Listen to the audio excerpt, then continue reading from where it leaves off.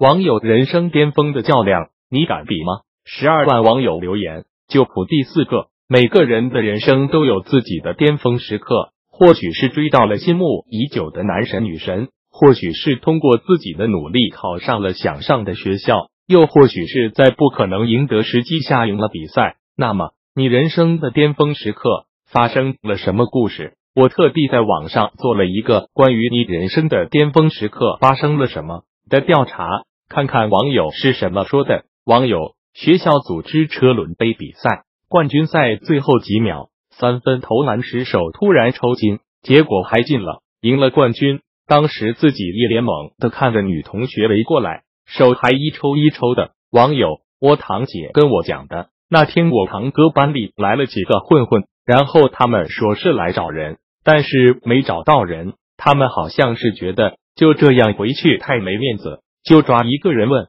你们班里谁最爱装逼，那个人就指了指我堂哥。然后我堂哥就这样莫名其妙的被打了一顿。网友有一次闺女们在家里聚会，给他们煎牛排。其实我根本不会做菜，都是我对象在旁边帮我。忽然一下子煎锅就着火了，吓得我差点把锅扔了。就听闺蜜们说：“哇，你好厉害啊，像大厨一样。”我愣是颤抖着双手没把锅扔出。网友同时追求三个妹子，然后三个表白都成功了。结果他们三个是好朋友。有一天，他们聚在一起聊天，于是那一天我失恋了三次。